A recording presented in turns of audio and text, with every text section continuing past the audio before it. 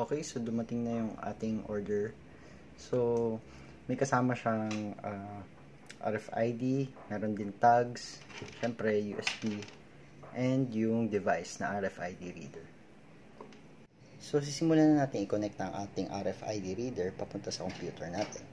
So, simulan na natin. So, ito, ganyan.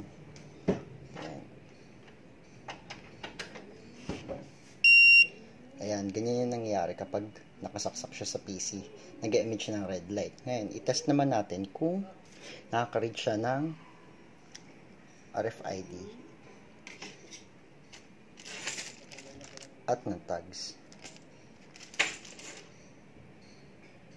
Testing naman natin siya kung nakaka-read nga siya ng mga RFID at ng tags na in-order natin. So, ito yung RFID. Ayan meron siyang unique ID na pwede natin gamitin sa programming. So, itatap na natin. So, narig nga niya. Nagkaroon siya ng blue light banda dito, tapos nag-produce ng beep sound. Ngayon, itry naman natin yung tags.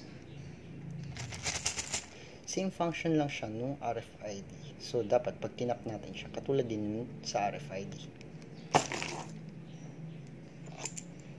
So, ito yung ating tag tatap lang natin yan yun na ngayon paano naman natin malalaman kung na-receive ng ng device ng PC yung ating pinagtap Siyempre, kakailanganin natin yung tulong ng notepad para malaman natin kung may na-receive nga siyang data.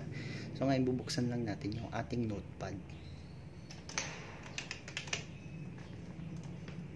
So, ayun yung notepad natin. So, wala siyang laman. Na? Blanco